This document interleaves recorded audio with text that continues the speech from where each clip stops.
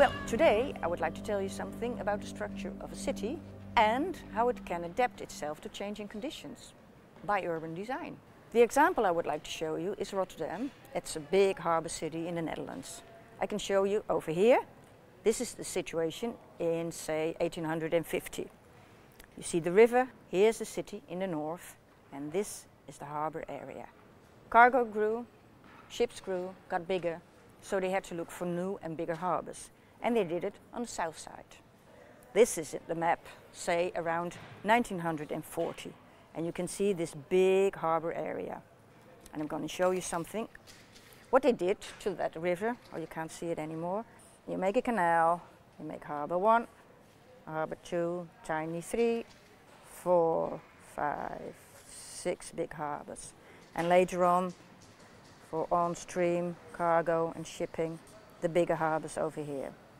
Well, the quays are defined by the ships and the size of the ships, but what is also important for the inner structure of the area are the railroads. The whole area is made for ships and trains. These are the railroads.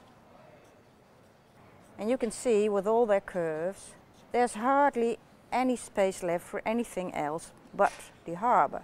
Some areas, let's show them over here. Here, Katendrecht, Feyenoord, small housing area. Actually in the leftover space. This is where the people live. So you can say that the whole heart of the city was the harbour, the economic heart and working heart. It looked like this. I got a picture here. It's almost the same time. You can see here the housing area and this is all shipping and trains. You can see there's enormous life and activity on the river.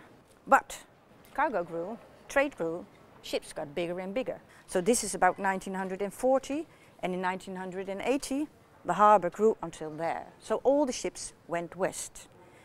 And the city also got bigger and bigger. It was almost as big as this table, you might say. Well, you might say, what's the problem that the harbour moves westward? because it gets bigger and econ economy moves. But what happens is that you get a hole in the city of about six and a half square kilometer, which was the heart of the city, and now it's empty. You should do something about it. And they did. It took some time. But how do you do it?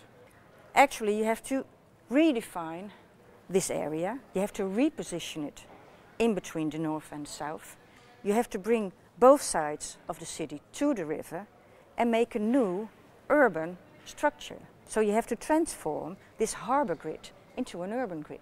You have to resize it. How to do it?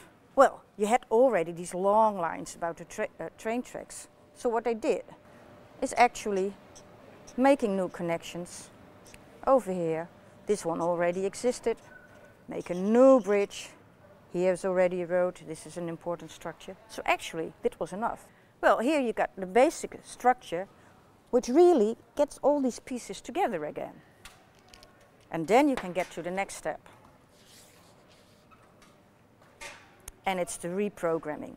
So in this housing area of Katendrecht, you can add new houses. A park, another park, give it a nice view, cultural program, new housing program, bit low size, low density. On this we get a high density, big urban program with cinemas, hotels, bars, restaurants and exhibition space. Education over here, housing over here, lower density, more quiet housing over here. Actually all the former harbour areas are being reprogrammed. Somewhat better, some worse. Well, I can draw this in three minutes, but actually it takes about 25 years and a good plan and a long breath. So if I summarize, and I take this one away, you might say, with these actually quite small interventions, you are able to transform this area into a new heart of the city and to bring it to the river and make the riverbanks a new public space. Interesting.